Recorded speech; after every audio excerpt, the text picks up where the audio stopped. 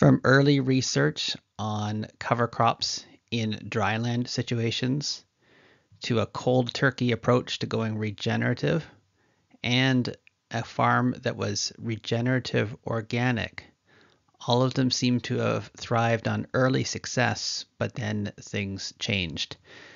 Those themes came up in the news that I looked at this month, and I'll cover those stories plus some other ones in this episode of the podcast.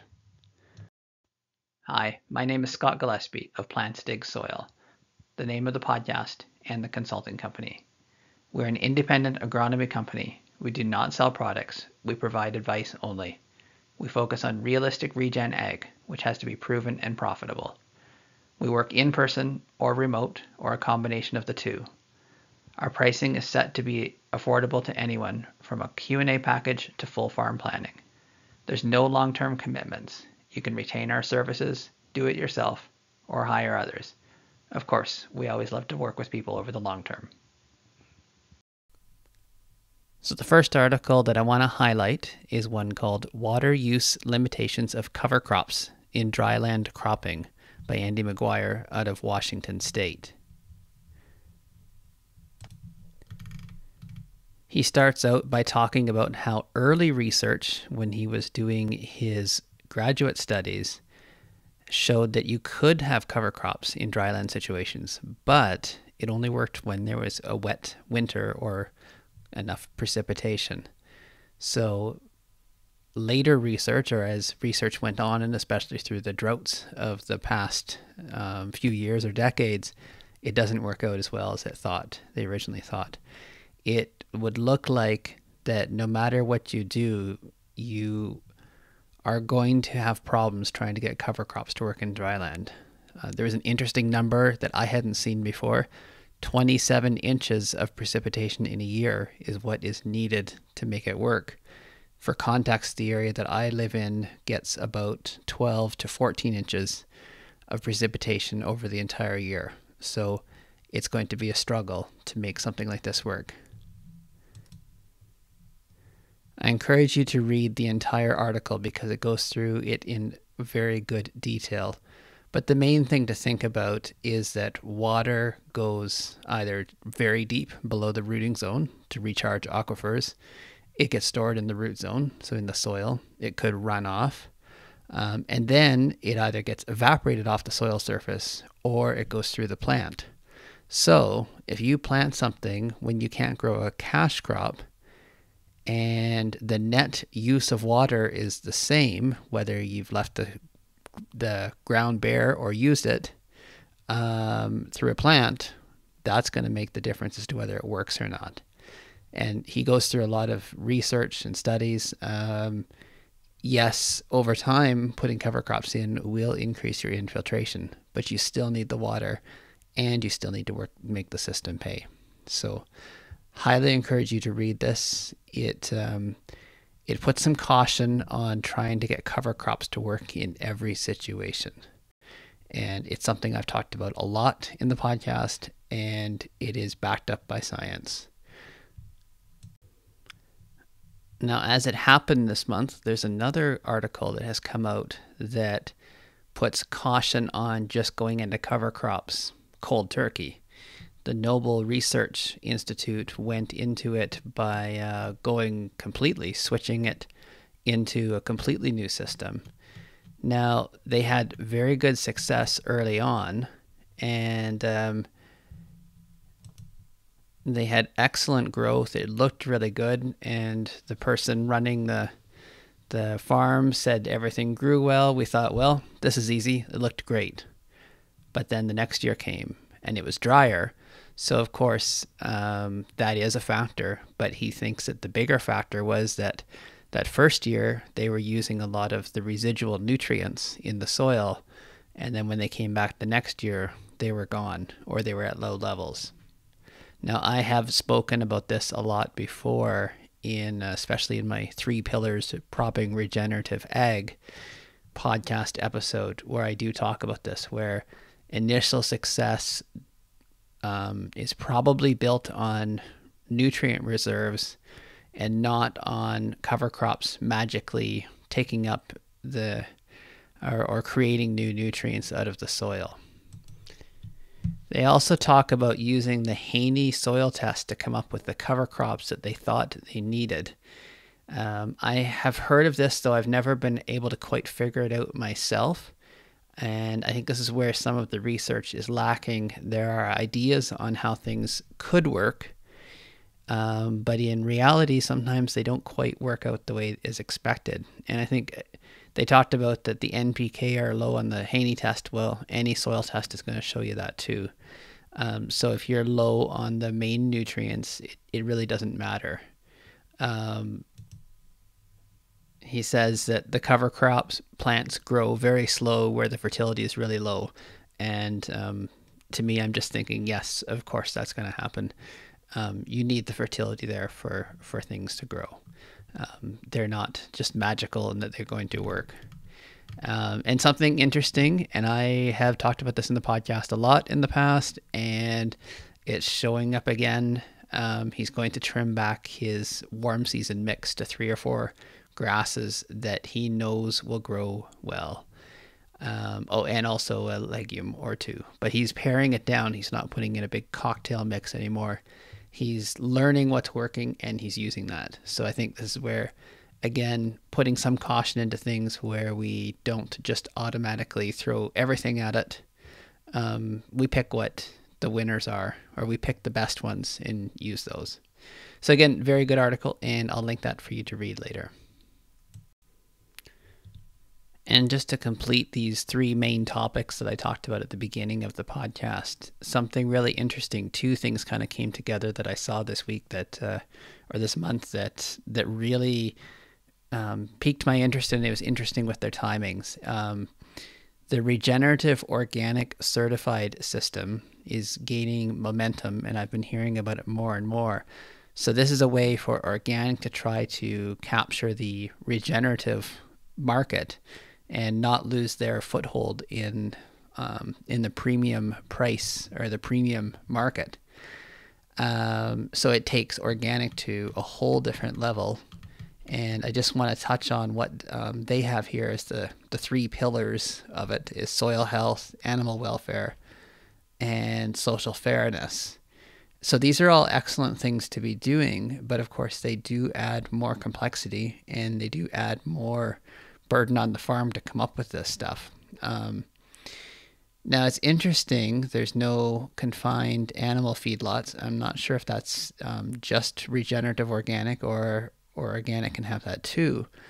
Um, but there has to be some way, if you're going to be bringing manure back into the system, uh, confined systems, even if they're small scaled, have to be part of it. So I'm I'm interested to see how this could work because um, again, it's about nutrient flows. If the the nutrients are ultimately going to the humans, um, and if that's not coming back into the system, we're losing them especially when we send things overseas, uh, which is most of the prairie agriculture ends up overseas or long distances away from from the farm.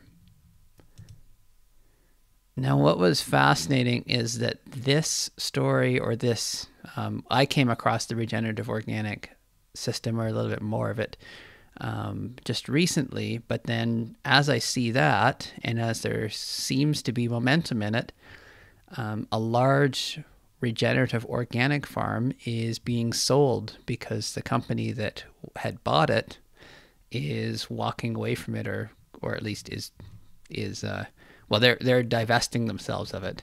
Um, it's called nature's path. They have many different foods out there in the marketplace. Um, and they had bought this farm and they had um, made it regenerative organic and they were going to make it as a big flagship part of their brand, but um, someone noticed that it was on the auction block. Um, there hasn't been much public comment on it, but it seems like the business side isn't working out. So it's curious. Um, we'll keep an eye on this, and you can also read the article that I'll link in here. So it fits in with this theme that I have seen as I was looking across the articles for this month is that a lot of things can start out with great fanfare and great success and great pictures. Um, but they a lot of times don't sustain. And this is where, to me, this is where realistic regen ag fits in. This is what I've been talking about for a long time. And I also have my own community now where we talk about this. Um, is that um, we need to get things that are going to work for the long term. While we're on the business side of it, there's an article from NPR about the pressure that investors are putting on large corporations to act on climate change. And I think this is an important read for farmers and agronomists and anybody in the food industry to understand is that they are getting pushed to do these changes that they may not necessarily want to do. But the food companies that are buying the stuff that they produce are getting pressure from their shareholders. Um, and then the shareholders are the ones that are acting on what they see as consumer interest or they're getting their their money or their ideas from somewhere. So it's pushing down the line and I think it's an important thing to understand. Now, farmers are finding agronomic ways that these are paying, and I think as an alternative or as the other side of this, it's not just a pressure to do things because shareholders want things. I think there's ways that these um, regenerative systems are helping farmers. But then the other side of it is sometimes the business side doesn't catch up when you're in the risky part of it. Um, so another interesting one, um, I came across this through Shane Thomas's um, Upstream Ag newsletter that comes out every Sunday. Uh, crop insurance is looking at starting to cover intercrops. Um, there's already a way that Saskatchewan has made it work, um, but you can only have up to 30% of your acres intercropped. But as the work out of um, the Southeast Research Farm, run by Lana Shaw, um, is showing, um, when these systems are more stable, then the insurance should should reflect this. So, um, very interesting and very encouraging for what I think is going to be a way to help get more people into regenerative systems. Also, from Shane Thomas was a deep dive on biostimulants, and he has went through a big farmer survey of who's using them, who's not, uh, where they're seeing successes. Um, and what's interesting, first of all, he only looked at the US data. Um, there's a lot more data for the US, and there's a lot more use in the US. And I think it's because they're primarily being targeted at corn and soybean acres. Um, now, his he had some interesting comments uh, or an interesting insight here is that they're getting close to crossing the chasm. Um, so when you have something new, you have innovators, which are very small. You have early adopters, which are a small segment. But then the early majority is when things really take off. So he thinks they're getting close there. However, there are some problems, is that the satisfaction with them is still lower than conventional in a lot of things. And I think it's because they don't have as great of a consistency across their use. So um, it's hard to say whether we're going to see a big change over the next few years or whether we kind of hit a peak and then they're going to fall off again. Um, if you've listened to me for long enough, you know that I'm still very skeptical of them because I think there's still a lot of work that needs to show where they fit in and where they don't. And there is local work here in Alberta, um, in southern Alberta, um, that is showing how how and where these fit. And I'll be brave be able to talk to you more about that as I see the research results. So let's talk some actual agronomy in here. I have talked about this about using marginal land to be your insect refuges. And there's some good work that is coming out of um, the University of Guelph on using um, what they call prairie strips, which I was trying to figure out where the prairie is in in Ontario, but um, they were referring to it there.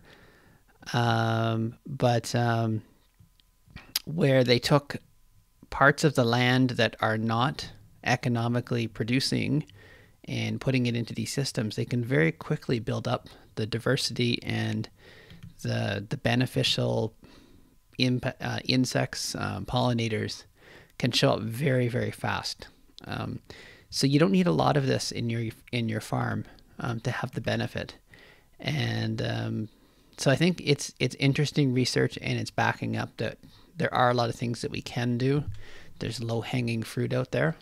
Um, where I work in southern Alberta with irrigation pivots, we're already fairly close in this because pivots always miss the dry corners.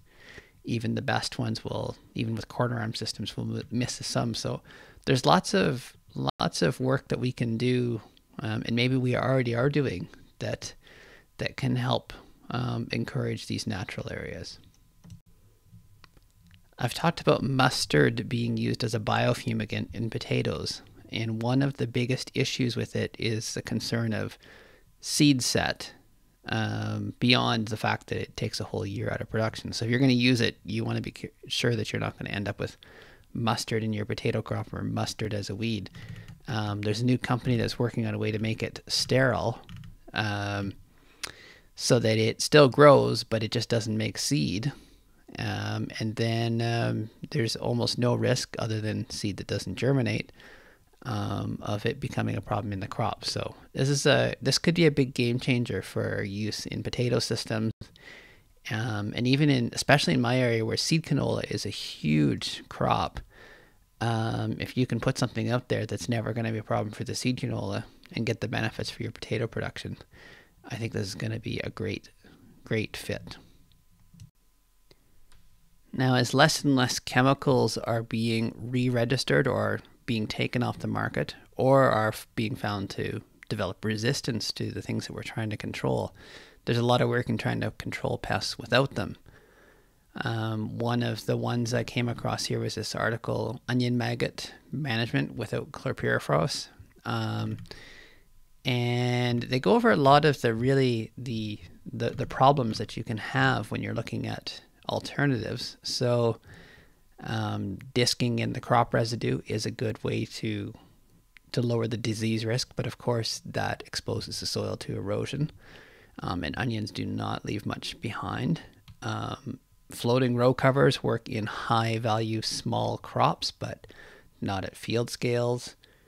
Um, and keeping your fields many kilometers apart, that could work if you live in a small area uh, or in if you're in a in a sparsely populated area, but that's very hard when your neighbors could be planting something nearby you.